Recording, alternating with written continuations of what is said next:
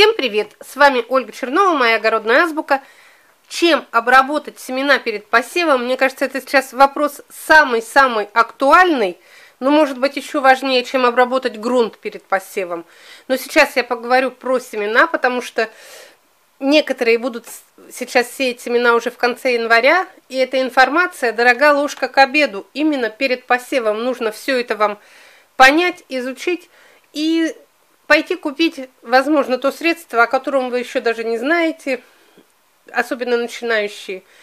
Ну, у каждого опытного огородника есть свое, конечно, средство для стимуляции, для протравливания, проверенное временем. Но перед тем, как найти свое средство, поверьте, вам придется перепробовать несколько в течение двух, трех, некоторые даже в течение пяти лет, ищ, лет ищут свое средство. И вот начинающие огородники зачастую пребывают вот в такой растерянности от обилия предлагаемых средств.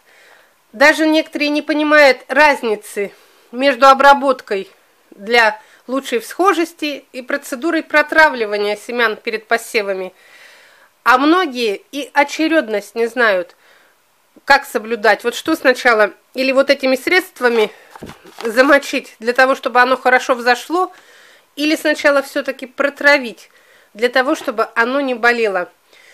Вот чтобы немного помочь новичкам, в этой заметке, вот в этом видеосюжете небольшом, я расскажу о средствах, применяемых для стимуляции семян, и поясню, что эти препараты не обеззараживают ваши семена, они только повышают всхожесть, вот укорачивают этот период, на который мы посеем землю, и вот как они взойдут.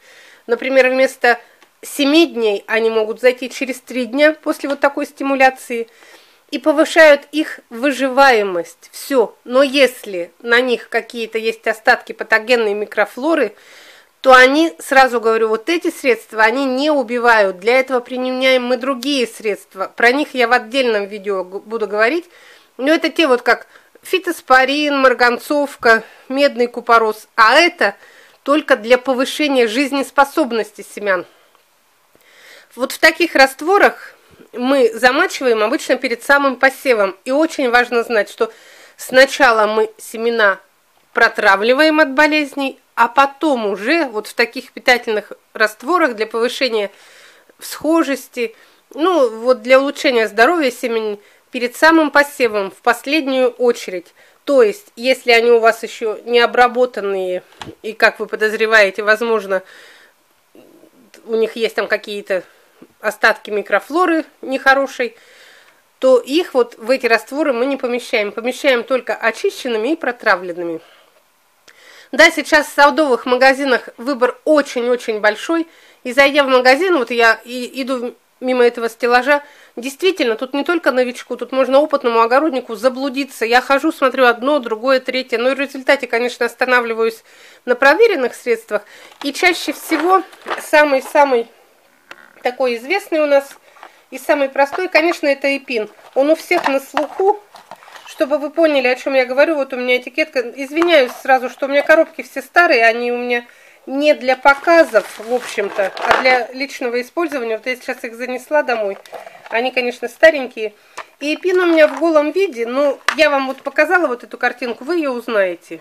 Вот это вот Стимулятор, который всем-всем известный, самый простой, самый распространенный, недорогой, его можно купить за 15 или там сколько сейчас рублей, не знаю. Это у меня остатки с прошлого года, и они у меня, я в том году вам говорила, я же беру по 10, по 20 штук, я их держу голышом для экономии места. Здесь у меня эпин, и здесь у меня циркон. Вот если буква С, это значит циркон, если Э, это эпин. Применяется и то, и другое. О каждом из этих препаратов у меня есть отдельно видео в прошлом году. Если позволит время, в этом году я расскажу еще раз подробно. Но сейчас вы должны просто знать, вот эпин и циркон, они с успехом применяются на протяжении многих лет. И если вы у кого-то спросите, чем замочить, чем вы замачиваете перед посевом, многие скажут, в растворе эпина. Как приготавливать не буду время зря терять, потому что мне нужно весь-весь ассортимент рассказать вам. Сюда же можно еще назвать бутон. У меня его сейчас здесь нет, я еще не закупала. Но бутон это средство, которое мы применяем при опрыскивании для лучшей завязываемости плодов. но он является регулятором роста, и его многие тоже с успехом применяют и для замачивания семян, и делают раствор обычно 2 грамма бутона на 1 литр воды. И можете замочить все семена, какие у вас есть. Очень экономное использование. Средство капля. Тоже вот если увидите в магазине средство капля, там одна столовая ложка на литр воды и можно замачивать. Есть средство эффектон. Вот все вот такие знакомые, в том году я рассказывала экопин. Ну, это те, которые на слуху. Вот в этом видео я хочу сказать о тех удобрениях, которые используются для замачивания, которые для вас, особенно если для начинающих, непривычны. Вы, может быть, иногда даже и не думаете, что можно ими замачивать. Замачивать семена можно в любыми, в любых вот таких вот жидких удобрениях, которые мы используем. Я вот специально даже вот так вот сделала для подкормок и для удобрений. Вот смотрите написано «Заслон. Защита растений». И, в общем-то, по упаковке и не подумаешь вот по этой бутылочке, что это какой-то вот можно использовать как стимулятор, как замачивание. Но тут же можно... Так, вот читаем.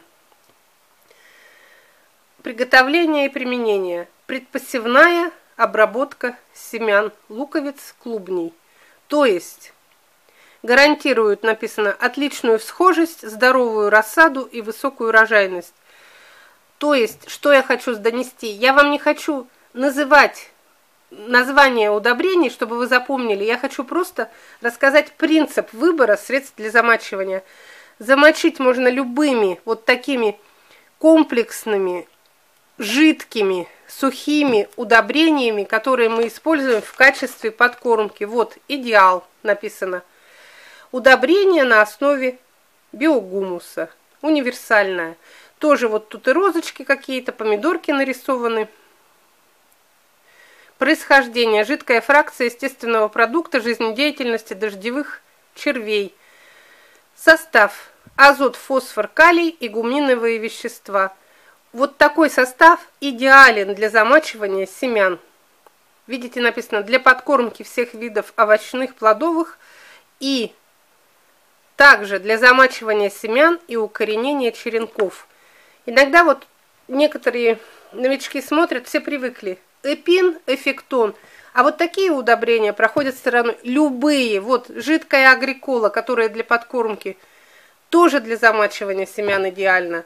Вот эти вот с прошлого года остались у меня различные гуминовые, все жидкие, все черные. Вот в прошлом году я показывала вам мой Фитоп Флорес, это наш местный производитель делает.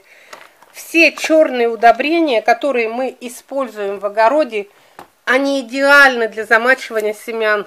Вот Аннушка в прошлом году, я вам тоже показывала, 12 питательных элементов написано. Удобрение жидкое, гуминовое. Вот такие любые жидкие гуминовые удобрения подходят для замачивания семян. Но не только жидкие, пожалуйста, сухие удобрения, нитрофоска, комплексное минеральное удобрение. Это тоже идеально. Здесь вот я вам читала азот, фосфор, калий в жидком виде. А здесь то же самое, азот, фосфор и калий, но только в сухом виде. Здесь даже, здесь даже, по-моему, не, не сказано в этом, в инструкции, что можно замачивать семена.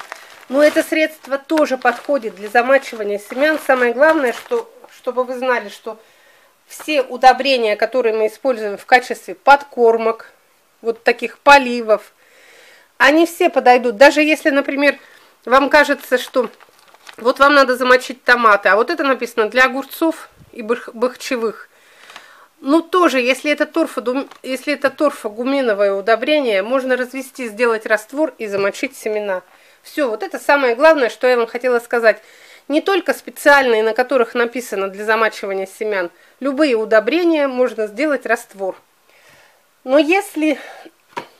А, да, вот если вы не уверены, например, как сделать нитрофоску, можете в интернете посмотреть, рецепты всегда есть. Но вот нитрофоску именно делаем. Одну чайную ложку на литр, разводите, и все, пожалуйста, на ватные диски, полежит там сколько Но если под рукой даже не оказалось магазинных средств, то есть очень много народных средств, такие как древесная зола, сок алоэ, они ничем не хуже. Золу то, что тоже просто растворяют в воде, и эта вода там тот же самый фосфор, калий, все, что есть вот в этих удобрениях, в природной зале тоже есть. И вот когда у меня спрашивают, чем обрабатывать семена перед посевом, чем лучше, подходят любые средства. Вот я вам рассказывала, и сухие, и вот эти жидкие. Вот какое выберете, конечно, чтобы подобрать именно то средство, которое вас устроит на 100%, это нужно несколько попыток. Например, в этом году попробуйте то, другое. В следующем вы обязательно потом найдете свое средство, самое такое простое, самое, как вам покажется, самое эффективное. Выбор большой, но пока вы сами не попробуете, конечно, вы... Может быть, вы вообще просто возьмете вот одну какую-то ну, я про эпин не буду. Эпин это, конечно, самое простое. Вот, например, ухаживаете за своими цветами. Может быть, вы попробуете замочить семена, покажет хороший результат. И будете пользоваться одним и тем же средством всю оставшуюся свою жизнь. А может быть, есть такие экспериментаторы, которые будут один год одно пробовать, другой год другое, третье, четвертое, пятое, седьмое. И можно так до бесконечности. Все, до свидания. Выбор большой, но выбор все равно окончательный за вами. Пробуйте, экспериментируйте. Я вот всего года три или четыре назад, вот у меня, кстати, сейчас нет этого, попробовала вот этот Привикур Energy. Я о нем даже не знала. Вот так же прочитала по совету какого-то другого там огородника. Один раз попробовала, влюбилась на него один раз на всю жизнь. Вот и все. Теперь вот эти все стоят бутылочки. Просто как подкормка. А семена все-таки я обрабатываю превикуром. Ну, а превикуре я потом расскажу, меня уже просили рассказать подробно. Не могу в этом году нигде купить. У нас такой город, что до нас не доезжает все самое вкусное. Где-то там, наверное, разбирают в центре. Превикур Energy нет ни в одном магазине города Бийска. Вот ищу пока что. До свидания.